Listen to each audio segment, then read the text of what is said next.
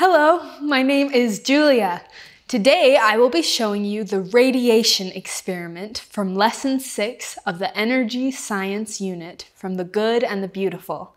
For this experiment, we need about 4 to 6 different colored crayons, a cheese grater or vegetable peeler, a plate, and some wax paper. The first thing you need to do for this project is shave your crayons into small, thin pieces. You can see that I've already done this step. Now we get to create our design.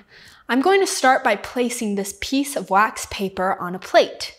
Next, I will lay out my crayon shavings in a thin layer. Finally, I will place a second piece of wax paper on top. Now let's put our plate in the microwave for two minutes. Do you remember what type of heat transfer a microwave uses? Your microwave heats the contents using radiation. Let's take a look and see if our crayon shavings are all melted. Have an adult help you with this part because the wax paper and the melted crayon will both be very hot. If your crayon is not all melted, you can go ahead and put it back in for 30 seconds. Okay, it looks like our shavings have all melted. Let's take them out and let them sit for a minute. This will allow the wax to cool until it's a little firmer, but still soft.